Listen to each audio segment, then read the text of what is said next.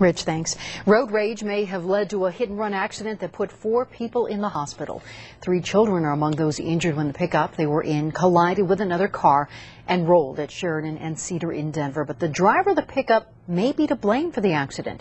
7 News anchor Mitch Jelinek is live outside St. Anthony's Hospital. And Mitch, the driver and the kids are okay, but we understand their mom is critically injured and the mother is on life support here at St. Anthony Central here in Denver.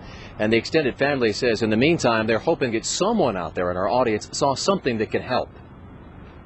She is only alive on a ventilator and medicine.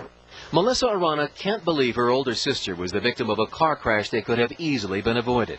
The family says Manuel Cruz, his common law wife, and three children were on their way home from a 4th of July party when Manuel started revving his engine as though he was going to race another car and my brother tried to swerve um, out of the way but had clipped his bumper. By the time the two cars got near Sheridan and Cedar, the family says tempers really flared, and the family's pickup was sideswiped.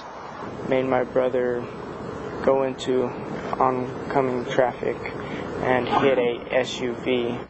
Both adults weren't wearing seatbelts and were thrown from the vehicle. Worse yet, the family believes Manuel may have been drunk at the time. My family's not pointing fingers or anything. We're, we're supporting Manuel. He knows what he did, but we're here to support Manuel. What's done is done. Now, the family says Manuel suffered a broken shoulder and a gash on the back of his head. They tell me that he has two days to turn himself in on DUI charges. Denver police won't confirm that. They say they're still investigating this whole incident. In the meantime, the three children are, are recovering at Children's Hospital, two of them with fractured skulls.